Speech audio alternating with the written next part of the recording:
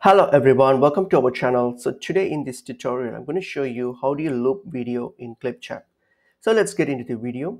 Open up Clipchamp application. So open up your application, log into your account. So once you've done on your homepage, what are you going to do? You're going to like click on create a new video.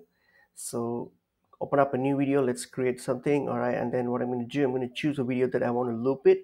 For example, let me choose this video here on my computer. So I'll just drag and drop it here.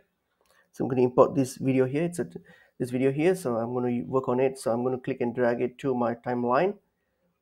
Okay. So now so this is a 20 second video. So what I'm going to do I want to loop this. So what I'm going to do make sure your video is selected on your timeline.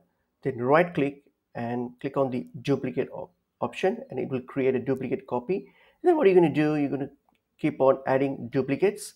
Just keep on uh, adding duplicates as many as you want until like how how long you want it to uh, loop. So just keep on adding adding it as much as you want and then once you once you feel that okay this is enough you're done. So actually this is a this is a uh, this is a 20 second video and right now I've made it up to three minutes. So what happens is that your video once once your video ends it, it's going to keep on playing. So because we have duplicated it so every time it's like when you when you're done with it and then it's going to start again and then you're going to keep playing until so it's until it's fully done. So in this way you can loop your video as many times as you want and for the you can set and and for the duration uh, as as the duration you want. So that's pretty much it is.